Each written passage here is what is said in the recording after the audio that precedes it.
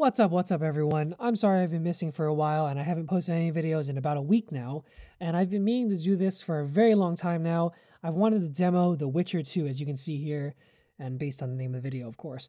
Um, so, yeah, I'm sorry that I haven't had too many demos recently. We're going to have more soon, hopefully. And uh, hopefully, I'll get you guys more content because I've been really busy lately and I apologize for that. So first things first, when we open up Steam, because this is a Steam game, you're going to click play and it's going to launch this little launcher here in front. And this launcher is going to give you a bunch of options. And right now we're in the advanced graphics settings. We're just going to go back quickly here and show you guys the basic settings that it opens for you. Um, so by default, when I open this the first, the very first time, the program decided that my computer should run this on ultra settings. I personally disagree and I like to mess with those settings myself because I don't know, they they tend to just think that you have this perfect setup here and it's kind of just like a generalization. So I wanted to customize that a little bit for myself just to make sure that it was running at max capabilities without really slowing anything down or something like that. So we're going to hit on advanced options. We're going to click on advanced options, I'm sorry. And uh, there's a ton of options here, but there aren't a lot of options for customizability. There's basically only just enable and disable. Uh, the only two exceptions are the shadow quality and the number of shadowed lights. Now, for that, we're going to keep on ultra.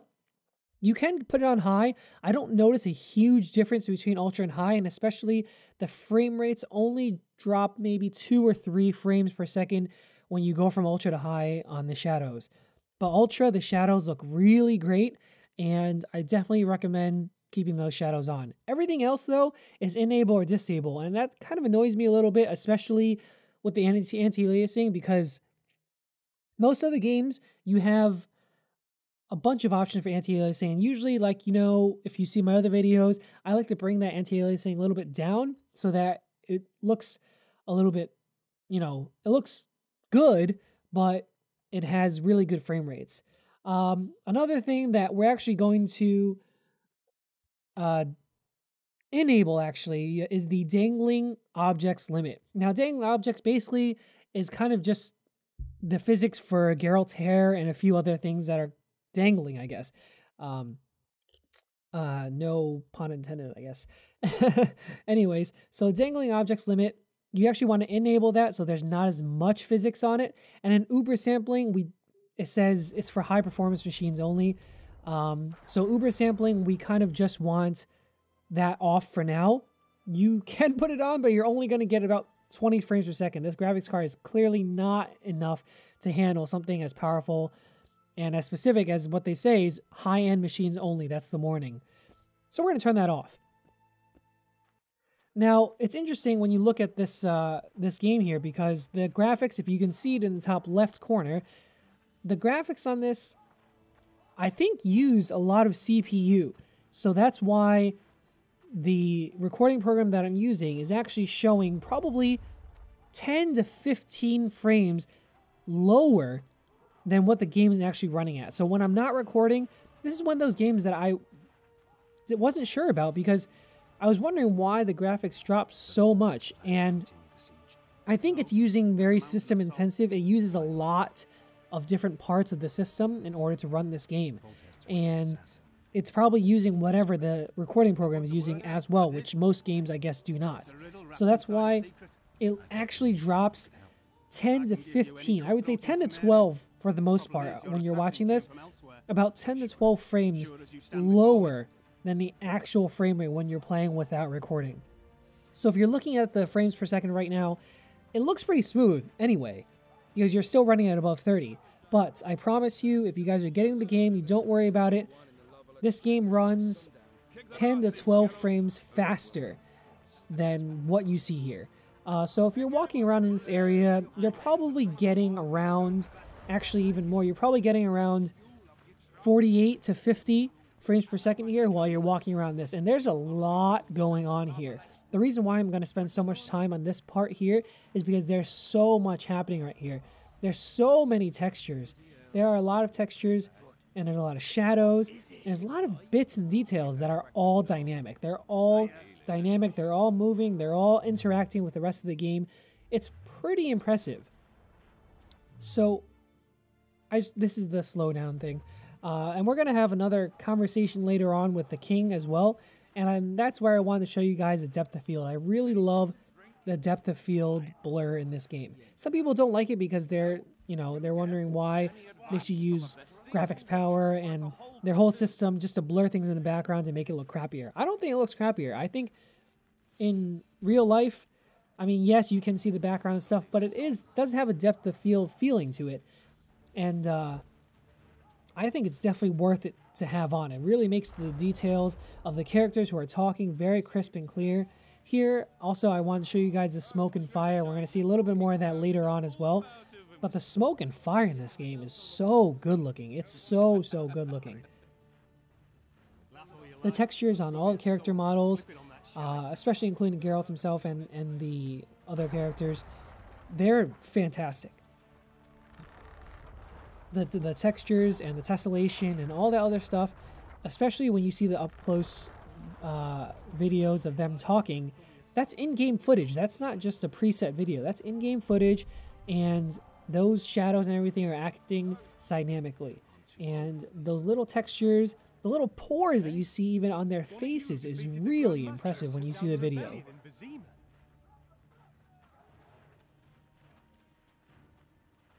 So here, when we're walking into here, it's probably about 48, but once you get into the middle of the crowd here with all these other people, when you get into there, it's actually about 55. I've even gotten up to 58 in the middle of this crowd, and sometimes even 60. Okay, so VSync is on, so it's not going to get higher than 60, because, you know, I like to keep VSync on. But in this area right now, you're probably looking at 55, 58. So that's why I'm telling you guys right now here, because actually, I don't know why, but the recording program drops 10 to 15 frames per second when I'm recording. And this is the first game that's really done that for me. Now, I know you guys have had suggestions about Shadow Play and uh, other reporting programs. I mean, Fraps is definitely a killer, probably worse than this when we're talking about recording. But Shadowplay, you guys said, doesn't take much. I haven't used Shadowplay actually, uh, but I heard it's pretty good, and I'm just used to using this program because I've got all my settings set up here, and I just, I just like using it. And this is really the first game that has really taken off that much. Usually my games take off two or three when I'm recording, which is fine, and uh, it, it looks fine still, you know, all the other games. This game still somehow looks fine. I guess I am moving pretty slowly, but as you'll see in the later parts, uh, when I'm battling and I'm fighting people, it still looks good even at the frames that it's displaying per second. I'm not even sure why it does that, but it still looks very good. And I promise you guys, it does get around, I would say if I'm playing the game, it gets around 48 Finally. frames per second average. So low, it's definitely, it drops down. Sometimes the frame clips in and out, which is kind of weird. I think it's just because it's loading on my hard drive. I'm using my hard disk drive instead of my solid state. That could be part of it. I mean, it is a 7200 RPM, and it, that's the one that comes with MSI GS60 Pro. Excuse me, but um, it looks fantastic. I gotta say. And it looks super smooth, even with the fast-paced gameplay. I mean, you know there's a lot of magic, and there's a lot of uh, projectiles, and there's a lot of sword fighting, a lot of movement. A lot of the characters are, there's a lot of people moving around too. There's a lot of soldiers and stuff. So it does eat up frames. There's a high demand for graphics for this game.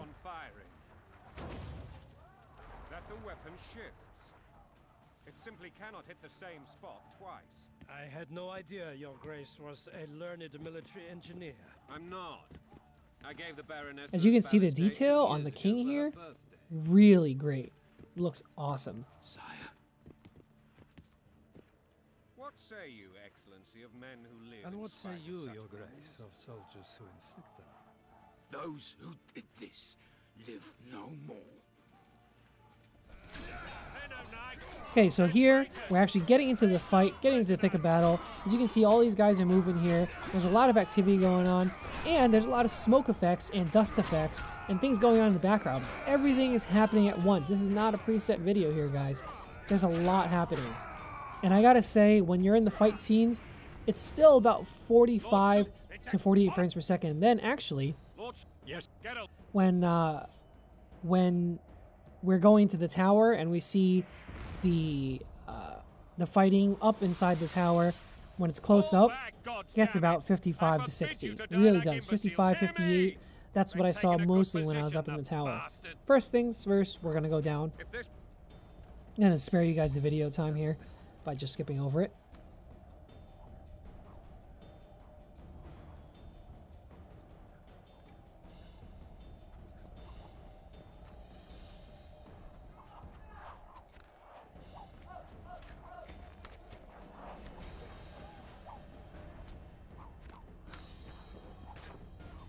Here we're probably getting around 45 to 50 frames per second.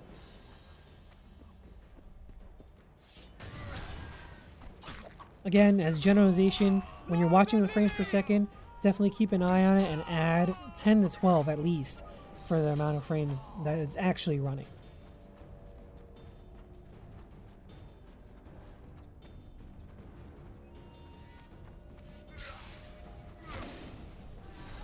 I completely missed those guys, but it does show off a good amount of those effects that I was talking about with the firing.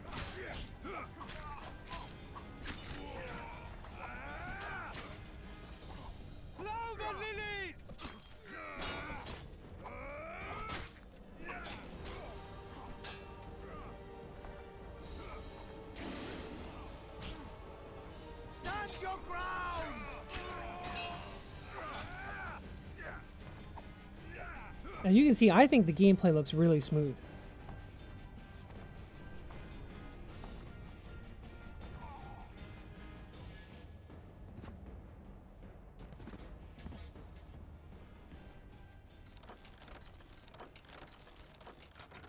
I love the motion blur on this, or in the uh, in the depth of field blur. I think it looks awesome.